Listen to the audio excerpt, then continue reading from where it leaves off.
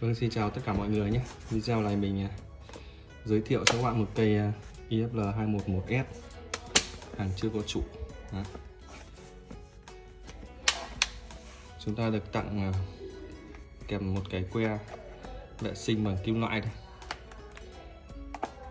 Sáo được đựng trong hộp. Cái dòng này là mã bạc các bạn nhé. Mã bạc. Yamaha này thành lập năm 1887 Japan 211S Đó. mình đã bảo dưỡng này vệ sinh tra dầu căn chỉnh hết rồi. Đấy, cái này thì hình thức của nó à, nó bị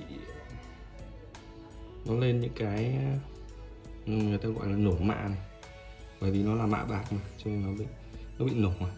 Anh em nhìn nó sẽ có những cái đốm hạt li ti li ti nó kiểu như nó sần lên đấy sờ vào sẽ thấy ờ, nó sần sần.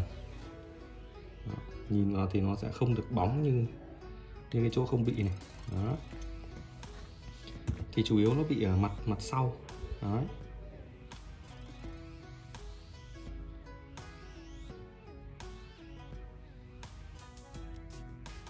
mình sẽ quay chi tiết cho các bạn nhé.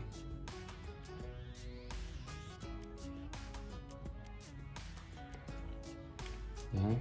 cái hình thức nó sẽ kém hơn thì giá nó sẽ mềm hơn còn nếu mà đẹp thì nó tầm 5 triệu trở lên các bạn ạ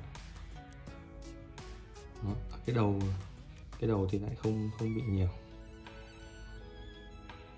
nó chỉ bị ở phần thân là chính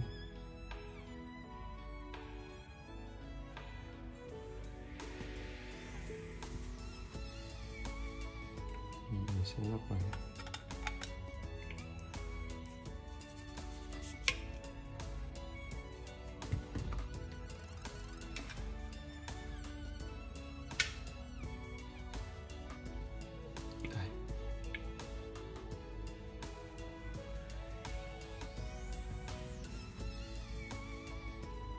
Đấy, nếu mà nhìn xa xa thì nó vẫn rất là đẹp vẫn rất là long lanh.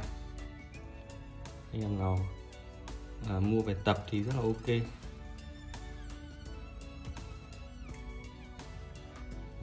dòng mạ bạc. Còn à, IFL211 nó có một dòng nó không mạ bạc nữa. Nó chỉ là màu à, của Niken bạc thôi thì nó sẽ màu nó sẽ đục hơn tối hơn. Đó, màu dạng màu inox. Nhưng mà thực tế nó không phải inox gọi nhé màu nó giống thôi. Đấy nó là, là đồng Niken đấy. Còn đây là đồng Niken mạ bạc. Và mình sẽ test âm cho mọi người cùng tham khảo nhé.